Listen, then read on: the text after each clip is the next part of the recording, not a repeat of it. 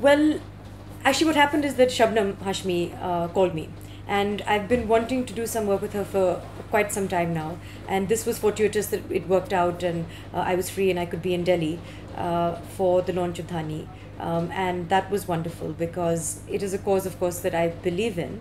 Um, and I know that Anhad has done a lot of very good work since 2002 when they started in Bihar. And uh, they were having this exhibition in Delhi and it was a chance for me to finally meet Shabnam as well and learn about Dhaani.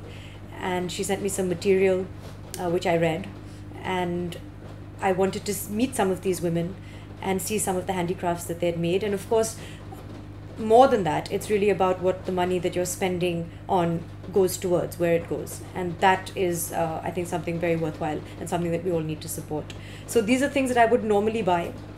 The products that uh, were sold under the banner of Dhaani. There are things like bed covers and cushion covers and table runners and stoles and things that I buy all the time.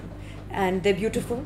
Um, especially, I think there were two things that I was gifted. One was a jute bag, which I like very much, which actually was um, of a very modern design. And then there was a beautiful green stole, um, which again was in silk. So they're products that are in jute and in silk and various other fabrics um, which women from Bihar or Gujarat or Kashmir or parts of Delhi have made. And the proceeds, of course, go towards their empowerment, uh, helping them to be independent, helping them to contribute, um, helping them to live, uh, because a lot of them just live hand to mouth, and helping them to educate their children. So, um, these two products that I got, I loved very much.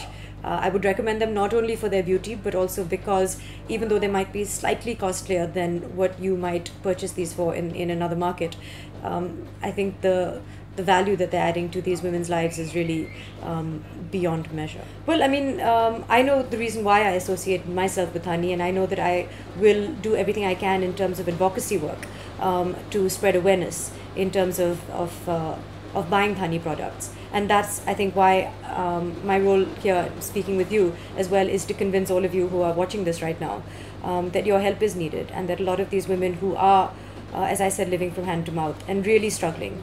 Uh, and these are things that we can numb ourselves to living in, you know, uh, uh sort of multiplex apartments in cities like Mumbai. But, um, you know, I think that it really doesn't take much. Um, we like to go shopping anyway. So this is shopping, you know, with a cause. And I know it helps me to sleep better. And I imagine that it would help you to sleep better as well. Um, and I know what a huge difference it makes to these women. And I met some of these women and I saw how happy they were and how much and how dramatically their lives had changed, um, even since, you know, over the 10 or 11 years that Anhad has been working with them. And that I think is definitely worth supporting. So I would urge all of you to do the same.